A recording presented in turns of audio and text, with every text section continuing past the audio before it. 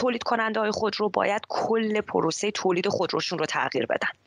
این به این معناست که چیزی که هلوش 50 تا 60 سال تحقیقاتی که روی بهینه کردن خودروهایی که سوختهای فسیلی مصرف می‌کردن و احتراق داخلی موتور احتراق داخلی داشتن.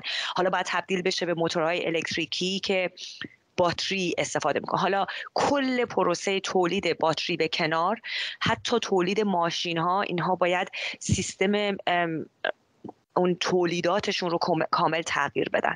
این یکی از موانعی هست که سر راهشون هست.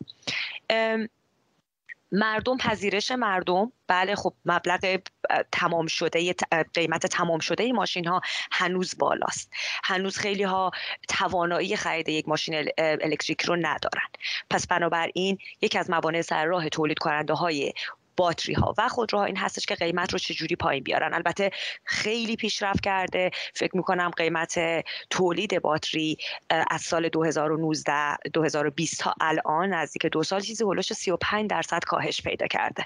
خب این خیلی پیشرفت چشمگیریه. خیلی خوشبینانه است که این اتفاق داره میافته. و مطمئنا قیمت همینجور پایین تر هم خواهد اومد.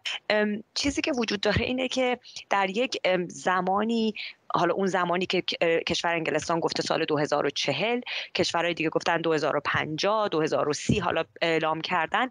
دیگه انتخاب تولید کننده های خودرو نیست که بخوان تو، خودرو الکتریکی تولید کنن یا همچنان خودرو احتراق داخلی تولید کنن و با قیمت ارزون تر بدن بیرون.